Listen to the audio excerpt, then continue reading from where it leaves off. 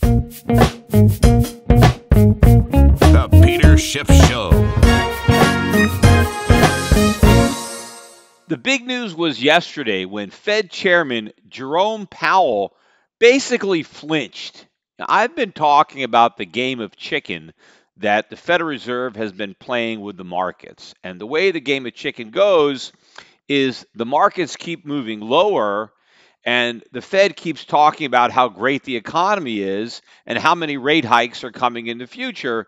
And somebody has to flinch, somebody has to blink, right? It's like you have these two automobiles driving towards each other, and there's going to be a major crash unless somebody uh, turns the wheel. And it seems like it was Jerome Powell uh, that turned the wheel first, and in fact was chicken. As much as the Fed wants to pretend they don't care about the stock market and they're not worried about the stock market, they absolutely care about the stock market. They are worried tremendously about a weakening stock market. Remember, the goal of quantitative easing was to lift the stock market to create a wealth effect. And it was that stock market created wealth that was going to drive consumption and the economy. And it wasn't just the stock market, it was the real estate market. And so the Fed is worried about all asset prices, not just the stock market. Clearly, the real estate market is in even more trouble than the stock market. But both of these markets were headed lower. And I think that is what really prompted uh, the Fed to to blink. Uh, to swerve in this game of chicken. Now, of course, you also had uh, President Trump uh, pressuring the Fed. You had Mnuchin uh, putting some pressure on the Fed, which I think should also be a worrying factor because we don't really know, right? There's a lot of speculation what was behind the Fed's change of heart, change of policy. Because after all, up until yesterday, even when you had the vice chair speak, uh, the tone was very hawkish. Yep, we got lots of rate hikes coming. And now all of a sudden, uh, Powell dials it all back. And basically, what Powell said that has convinced people that maybe there's not going to be as many rate hikes in the future as the markets had believed is that now Powell is saying, we're just below neutral. We're almost there. Maybe one more rate hike ought to do it, and we're going to be at neutral. I mean, first of all, we're still at 2%. So that would imply neutral is two and a quarter, two and a half. I mean, that really shows you how low the neutrality bar has been lowered given the enormity of the debt bubble that we have. Because once upon a time, and not too long ago, a 2.5% Fed funds rate would have been considered highly stimulative to the economy, especially when you have inflation running at 2.5%, 3% based on the government numbers, which of course are understating inflation. But even if you take the government's numbers at face value, we still have real interest rates that are negative or about zero. And negative rates or 0% real rates have historically always been considered stimulative, not neutral so why is it now neutral? And the reason is because we now have so much debt that we can't handle what used to be neutral because if the Fed actually raised rates to a historically neutral position, everything would implode. We can't handle neutral anymore. So, as a result, the neutral rate has to be moved lower to a rate at which the Fed thinks the markets can tolerate it. But, you know, the joke's going to be on the Fed because we can't tolerate uh, two and a half or two. I don't think this is neutral. If you think neutral is what props the economy up, I think that given the enormity of the debt bubble, that they've already moved beyond neutral. I mean, neutral was probably zero. They probably needed to stay there. Although eventually things were going to fall apart at zero because inflation was going to rear its head and, and rain on the Fed's party, which is what's going to happen anyway. You see, as much as the Fed wants to declare uh, the neutral rate or bring the neutral rate lower and lower to deal with an ever increasing debt burden uh, that needs to be financed at low rates, the Fed can't do this forever because eventually the markets get wise, the dollar tanks, inflation picks up, and now the Fed is forced to raise interest rates. And they can no longer maintain the artificially low levels that are necessary to uh, keep this bubble from deflating. So, because Powell said that we're now near neutral, now the markets do not believe that as many rate hikes are coming. And as a result, the Dow rallied 600 points. One of its biggest up moves of the year. Maybe it was the biggest, I'm not sure. 2.5% move in the Dow Jones just based on a couple of words from the chairman of the Federal Reserve. Now, of course, we got some more words today. We got the release of the minutes, uh, which really uh, you know, didn't amount to much because you know it was uh, taken second fiddle to what happened yesterday, so really was kind of a non-event. But even those minutes did confirm that the Fed is now more data dependent than they were in the past, as if they ever really were data dependent. But what that means is the Fed is looking more closely at the economic data. They're not so much on autopilot for future rate hikes. They're going to be looking at the data and determine whether or not they need to raise interest rates more or maybe pause or who knows, maybe even cut rates. In fact, if you read the minutes, they even uh, write about the possibility of having to relaunch quantitative easing uh, during the next recession, which is exactly what they're going to do. The next recession is much closer than they think. And of course, they're going to have to administer a much larger dose of quantitative easing uh, than they believe. And of course, it is not going to be effective. It is going to uh, produce an overdose and destroy uh, the dollar. But as I've been saying, I never thought that the Fed simply indicating a pause in the rate hikes or a slowdown in the rate hikes would be enough to save the market. I mean, I did say that I thought the market could have a knee jerk reaction to a more dovish Fed. And in fact, we had that knee jerk. But I still believe that that's not going to be enough. I do believe that this is still a bear market rally. I don't believe that this correction is over and the bull market is going to continue based on this. I still think that the only way the Fed is going to really put a bottom beneath the market is to cut rates. Not to just talk about a slowdown in future hikes, but the market's going to need a much bigger drug than that right? We are a huge addict. We got a big debt problem, uh, and we need a lot more than just talking about maybe getting some drugs in the future. We actually need the drugs right now. So I do think that this game of chicken is going to continue, that the markets are going to roll over and make new lows, and the Fed is going to have to do a lot more than just talk about maybe not raising rates as much in the future. In fact, the data that we continue to get, data that we got today, data that we got yesterday continue to support the fact that the economy is slowing down. The unemployment claims that come out every week, they came out this morning and it was the, the highest number 234,000 was the weekly claims. And this was the highest number in six and a half months. And if you remember on one of my podcasts last week, following the release of the claims. I said that based on that jump and the upward revisions to the prior month, that I thought that we had seen the low in claims potentially. We had a bottom. And what we had this week is more evidence of a bottom. I think if we get above 240,000 claims next week, that will be an even greater uh, evidence that we've seen the lows. And what does that mean? That means that we're going to start to see higher and higher first time unemployment claims being filed. Well, what does that mean? Well, that means the unemployment rate is going to go up. And one of the things that the Fed and everybody else have been hanging their hat on for a strong economy is how low the unemployment rate is. So as the unemployment rate starts to uh, notch up, then fewer people are going to be able to say, hey, look how low the unemployment rate is uh, people are going to start to worry about an increasing unemployment rate and what that means about the economy. Now, of course, when people see the unemployment rate moving up, everybody's going to say, aha, see, this neutralizes the inflation threat because a lot of people incorrectly believe the inflation threat comes from employment, comes from people working, comes from a growing economy. And as I've said many, many times on this podcast, growth never causes inflation or never causes consumer prices to rise. If anything, growth causes consumer prices to fall or prevents them from rising because real economic growth means the economy is producing more stuff. You have more output, you have more production, you have more supply. And so that keeps a lid on prices. When supply goes up, price can come down. What makes prices go up is an increase in the money supply, right? Inflation.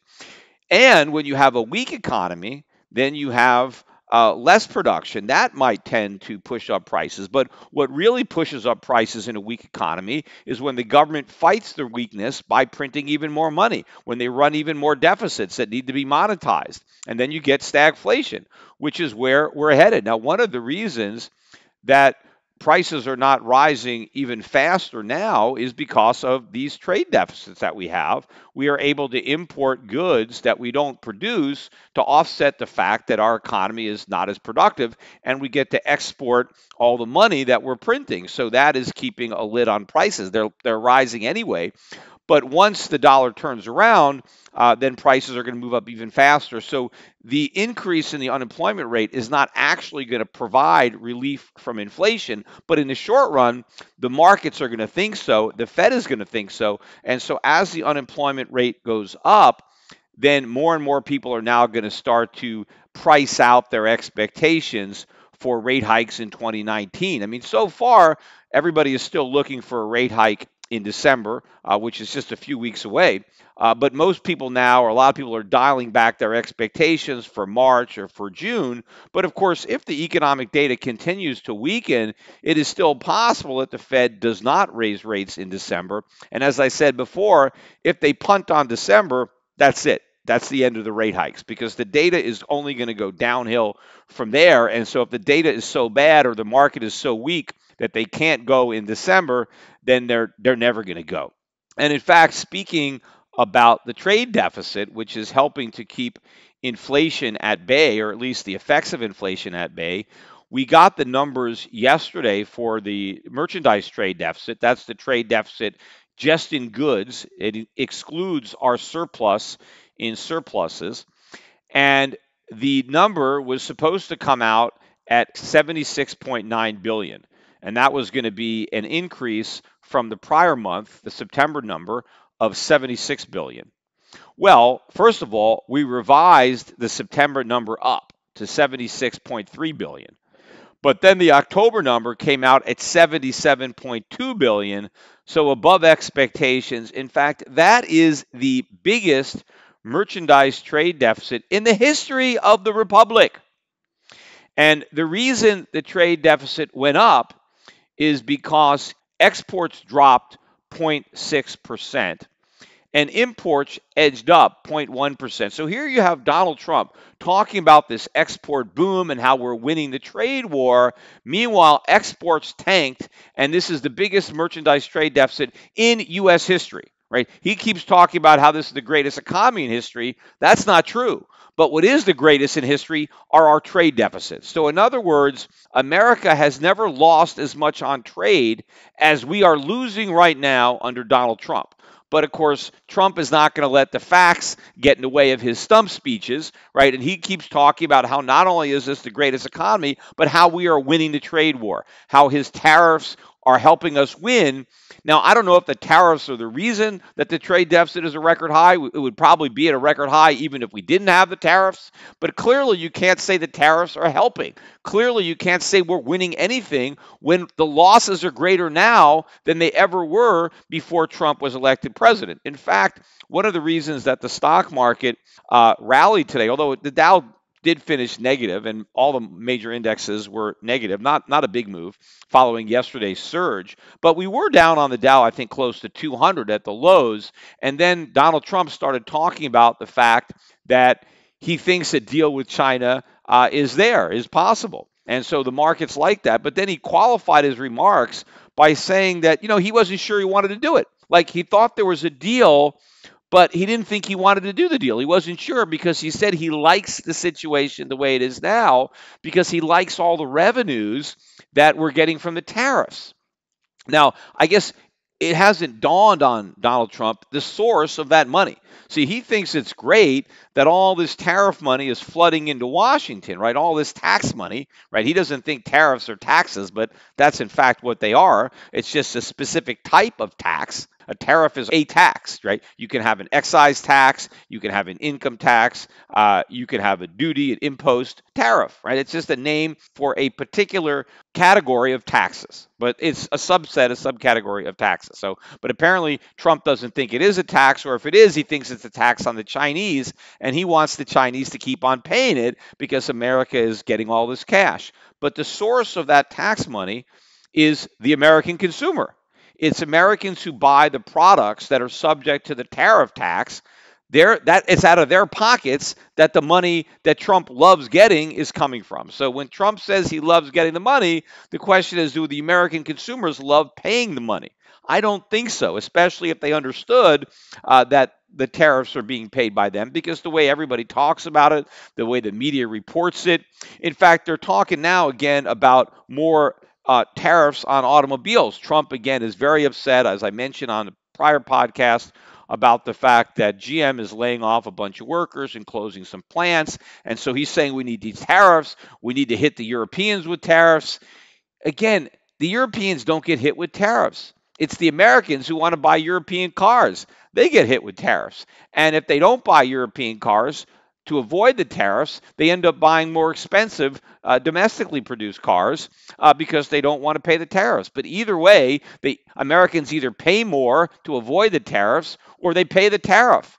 It's not uh, free money coming in uh, from from China or anybody else. But apparently, the markets didn't focus on that. We got the rally based on the fact that Trump thinks a deal is, is possible. And again, I think a deal is coming because I think the consequences of these tariffs actually kicking in are going to be enormous. And again, that's another game of chicken that Trump maybe is playing with the Chinese. But in this case, uh, Trump has to flinch. He cannot allow this this crash to happen because once these tariffs are there, uh, the damage is going to be rather severe to the U.S. economy. So the thing for Trump is he could talk about this empty threat all he wants, but at the end of the day, he's got to do something to diffuse it because he can't actually impose the tariffs, and then he can't not do it. Right? If they don't have a deal and he doesn't impose the tariffs, well, then he really looks bad. So the only way to avoid the tariffs, that, that the higher tariffs, and save face is to come up with some kind of deal. But at least we know from past experience, it doesn't even matter what the deal is, right? Just like NAFTA 2.0. It doesn't matter what it is because whatever it is, he's going to claim it's the greatest deal in the history of deals, right? So it doesn't matter. He needs just something that he can claim as a victory and to make sure that these higher tariffs uh, don't kick in. We also got more evidence today of the weakness, ongoing weakness in the housing market. Pending home sales were down by 2.6%, much bigger than expected decline. I think they were actually looking for a flat number. This is the 10th month in a row that the year over year pending home sales numbers have been down. And in fact, pending home sales are now at the lowest level in over four years. So the housing market is is clearly in trouble. In fact, I believe a lot of the permits, right, that were taken out, uh, I, I, think the builders are going to choose not to build those permits. Right, a lot of times people get excited. Oh, look, look, there's these building permits out there. Well, just because you have a permit to build doesn't mean you actually build. And I think a lot of developers, if they just survey the landscape, you know, they're gonna, you know, they're gonna have a second thought about that and they're going to decide not to build. So this market, the real estate market is going down and if the Fed continues to hike rates, all they're doing is putting more nails in the real estate coffin, which is something that they don't want to do because again, as much as they want to pretend that real estate is not a huge part of this bubble economy, it is. And as I said before, it's not just the construction industry and the jobs related to that. It's the wealth effect. It's all the consumption that flows from home equity and home equity extractions and mortgage refis and all this. And so if they let this bubble implode, well, they already saw that movie in 2008. They don't want to see it again. Now it's going to happen. We're going to get the the the, the uh, sequel. And as I've said many times about sequels, they're always worse than the original. So as bad as the 08 financial crisis was, the sequel is going to be much worse. Now we did get the uh, numbers for Q3 GDP. The final number was unrevised at three and a half percent but um, one of the big factors there, you got to look beneath the, the numbers, was the, the build in inventories. You know, inventories continue to rise. And I think one of the reasons that inventories are rising is that uh, companies are trying to get a jump on the tariffs. And so if you know a lot of the products that you are importing may become subject to tariffs in the future. The key is, well, let's buy them now before the tariffs kick in, and then we'll be able to sell them later rather than wait and then have to pay the tariffs. Let's get them before the tariffs, and then we can, you know, increase the price to the consumer and we can keep the difference, right? Instead of having the difference go uh, to the U.S. government. And also, another reason for the inventory build is likely because businesses are optimistic, right? Everybody thinks the economy is booming, everybody thinks everything is great, so they want the inventories because they're confident that they'll be able to sell. And if you look at the inventories numbers we already got for October, a big jump, much bigger than expected jumps in wholesale and retail inventories. Now, of course, initially that pads the GDP because inventories are a component of GDP. But if inventories are building because sales aren't there, and if the uh, the, the, the stores are more optimistic, if businesses are more optimistic on the demand that's coming from their customers, what does that mean about future GDP? Well, that means that uh, inventories are going to come down, that orders are going to come down because companies are going to be stuck with a bunch of merchandise that they haven't been able to sell. So all of this is just pulling GDP growth forward uh, and then pushing out uh, the recession. But the numbers are going to weaken. Again, that's going to be more and more pressure on the Fed, first not to raise rates and then to start cutting rates. What else is going on in the market today? Crude oil uh, actually made a new low. This was the first time for this correction or this move. I guess technically you'd call it a bear market, right? Because the decline is way more than uh, 20%. But we actually traded below 50. We got down to 49.41 I think was the low. But then we reversed. We closed around 51 and a half, so about a $2 move. So a potential reversal, you know, we took out some stops below 50 and rather than continuing to move lower, the market reversed and closed higher. So potentially we might have a, a good uh, floor here now at um, at the $50 level in the price of crude. And if the Fed, of course, is going to be easier, then this is going to be bullish for all commodities, including crude, because it's negative for the dollar. And the dollar did get beat up yesterday. It didn't get destroyed, but it was a significant down day in the dollar yesterday. And I think we had a small follow through. At one point, the dollar was positive today, but I think it, it, it ended up with a with a small uh, gain. One surprise was that gold didn't have a bigger move. I mean, initially the price of gold jumped up by about 10 bucks or maybe 12 bucks because I think it was down $2 and then uh, Powell spoke and, and gold was up 10 bucks, but it only finished up about six or seven and it tacked on another four or five today. So not that big a move yet in the price of gold. Because if the Fed really has changed its uh, monetary policy, then this is extremely bullish for gold. It's extremely bearish for the dollar. I think the markets there are a little cautious. And I think one of the reasons, though, that gold didn't have a bigger rise is because you had this 600 point gain in the in the Dow. And I think if people are excited about the stock market, that takes away some of the impetus for them to buy gold. And, and I so I think that was a problem. But if the stock market continues to roll over, which is what my expectation is.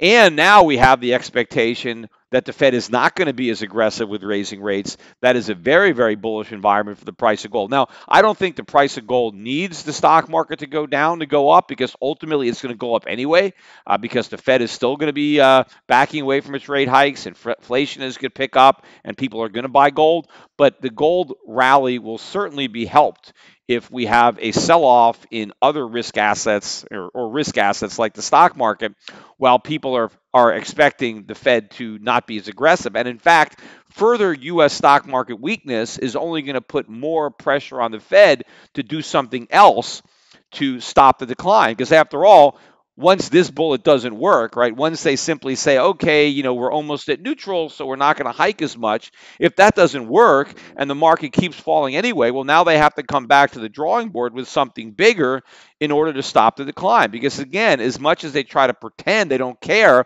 believe me, they care. And they don't want to admit that they care because that creates a whole other problem. So they have to keep their, their concerns private, but clearly it's obvious uh, what they're trying to do. Now, another market that might have put in a short term bottom is Bitcoin. We finally got a bit of a rally in Bitcoin. And I don't think this is a long term bottom, but there could be a little bit of a short term bottom. Probably it'll hold just long enough to create enough false confidence that we've seen the lows and maybe sucker some uh, some buying into the market so the you know the whales can unload more of their cryptocurrencies, which I think is their goal. Of course, they just they need other people to come in so they can get out. Now, the initial low in Bitcoin was a little bit below 3,500. So we broke below 3,500, then we rallied. And then the next couple of times we went down into the 3,500s, we never got below 3,500. So that level seems to have held as a support level. And now overnight, we rallied back up above 4,400. So that's a pretty significant move off the lows. That's more of a significant rally than any of the rallies we've had since we broke below that, you know, 6200, 6400 support wherever that was and and and hit and hit these lows. Now as I am recording this, we're back below 4200. So the market's not running away, but we may have established a trading range for a while with 3500 on the low end, uh, you know, maybe 4400 uh, 4,500 on the high end. And we'll see how long we can stay in this range before we ultimately break down and go lower because I do not believe that 3,500 is the low, not even close. I don't think this bear market in cryptocurrencies is over. In fact, I think it's just getting started, and I think we have a long way to go uh, before we, you know, we bottom out and certainly a long way before we see any kind of capitulation, before we see any of the hodlers actually admitting that uh, that the that the party is over and that this was a bubble. As of right now, some of them might be upset that some of their paper wealth is gone, uh, but most of them just think it's just a matter of time before it comes back. I mean, clearly people wish they had sold so they can buy back in now. I mean, obviously, right? People wish they had, you know, you know, taken some profits at 20,000 or anywhere near there and bought them back. I mean, of course, people can have those woulda, coulda, shouldas, but at the end of the day, they still think that, you know, 20,000 was just a stop on the way to a million, and all they have to do is keep on holding, and they're going to be millionaires or billionaires. Well, we need to see them give up on that dream before you can claim that there's been any sort of capitulation. But, you know, I want to tell a little bit of a tax story about uh, Bitcoin because I was chatting today with a guy who um, moved to Puerto Rico because of Act 20/22, which is to avoid uh, capital gains taxes. But he's a crypto guy. And it was his crypto gains in 2017, last year, that really prompted him to move to Puerto Rico. In fact, almost all the people, the crypto people that have come to Puerto Rico, came this year. Right? I mean, it would have been great if they came in 2016 because then all the gains from 2017 would have been tax free. But most of them, the gains, most people you know, the gains weren't big enough dollar wise. I mean, they were pretty big percentage wise, but dollar wise, the huge gains happened in 2017. And that's when a lot of people started thinking about the capital gains tax. And that's when a lot of people heard about Puerto Rico. Now, a lot of them heard about it from me being on Joe Rogan in 2017 and talking on that podcast about the tax benefits of, uh, of being in Puerto Rico. So when Bitcoin had that huge run up to 20,000, everybody was super bullish at the end of 2017, early 2018, and a lot of people in mass in the crypto community headed over to Puerto Rico because they wanted to make sure that their future gains, which dollar wise were going to be even bigger, right? If Bitcoin and all the other cryptos kept on moving up like everybody expected, this was going to be millions and millions or tens of millions of gains. And the idea of paying zero capital gains taxes uh, was very enticing. I mean, you know, and so a lot of people moved here to Puerto Rico. And so the reason I bring this up is I was chatting online with this guy. He's a member of uh, this Act 20/22 Society, which I'm a member of, which is a group of people who, you know, main, Americans from the mainland who moved to Puerto Rico who now have these tax grants. You know, it's a society and it's just like an organization, and you help each other out, and they have meetings and helpful meetings, and they have parties once in a while and stuff like that. So I'm a member of this organization. They also did a lot of charitable work gave millions and millions of dollars uh, in the aftermath of uh, Hurricane Maria, um, and so they they're they're doing a lot of good work on the island too, as far as uh, char- charitable giving. But in any event, so I'm on a message board with this guy who's talk, talking about his tax problem, and he's looking for some advice. And I started chatting with the guy, and the problem that he has, and this is a little bit of a tweak on the problem that other people had with cryptocurrencies. It wasn't even something that I that I thought about until this guy's situation came up. But anyway, so he moves to Puerto Rico in 2018. And early in 2018, when the cryptos are still way up, he sold a bunch and he had millions of dollars in gains, right? Now, since most of those gains happened in 2017, the gains happened before he moved to Puerto Rico. So any gains that you, when you realize a gain, any portion of the gain that took place before you got to Puerto Rico is still taxable. You still have to pay a capital gains tax on that. So if you want to think about it in the case of, let's say, Bitcoin, if you bought Bitcoin for $100 and when you moved to Puerto Rico, it was $15,000 and then you sold it at $17,000, the move from 15,000 to 17,000 that's tax free. So you don't have to pay any taxes on that 2,000. But on the move from 100 to you know to 15,000 where it was when you got here, all of that gain is still taxable. Just as if you were still living in the United States because the gain happened before you got to Puerto Rico. So that's fine. He had a big gain and now he has a tax. But here's the problem. Once you become a Puerto Rican resident, all of your future capital gains are tax free. That's the good part. The bad part is none of your losses uh, are are you able to use to offset the gains that you had from before you got there. So in other words, the market has crashed since he's made those initial sales. He has now had other sales at much lower levels. So now this guy has huge crypto realized losses that he has. And he has a lot of other crypto unrealized losses where he's still holding and hoping, right? He hasn't sold. But here's the problem he's got this big tax bill for 2018 for the gains that he realized early in the year. But he can't offset any of those gains with these losses because these losses happened after he moved to Puerto Rico. Because at the point he moved to Puerto Rico, cryptocurrencies were way up there. So I'll just make up some numbers. These aren't the exact numbers, but let's say he realized $2 million of gains in January of this year. And now, later in the year, he sold his other cryptocurrencies and he lost $3 million.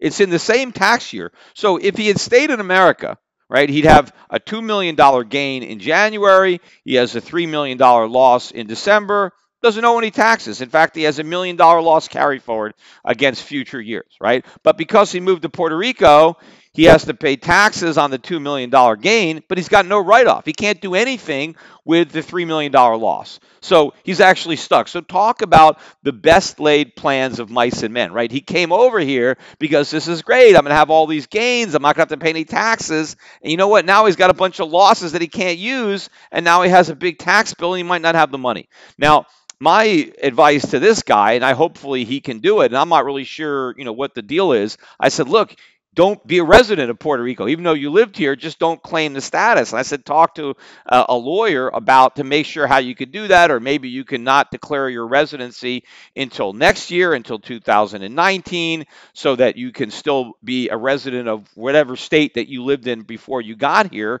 so that he can still use all the losses that he has later in the year to offset the gains that he realized early in the year.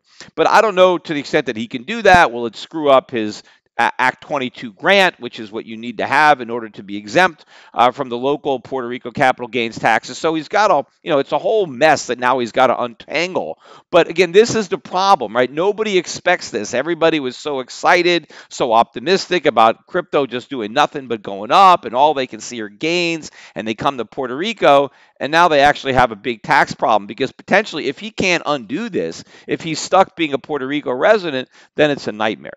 And the other thing is, if he can delay his residency or if he can not be a resident, does he somehow screw up his ability to become a Puerto Rican resident uh, with the tax grant if he's able to delay it? I don't know. Hopefully, he'll be able to do that and he'll be able to get get out of this mess. But you know, there are a lot of people again that do not understand the significance of their tax problems. A lot of people didn't pay gains in 2017, and a lot of people may have uh, uh, harvested gains in 2018. For most people, that's better because if you have gains that you harvested in January or February of this year, you can write off the losses uh, from later in the year. Where people are going to be in trouble is where they book gains in the tax year of 2017, right?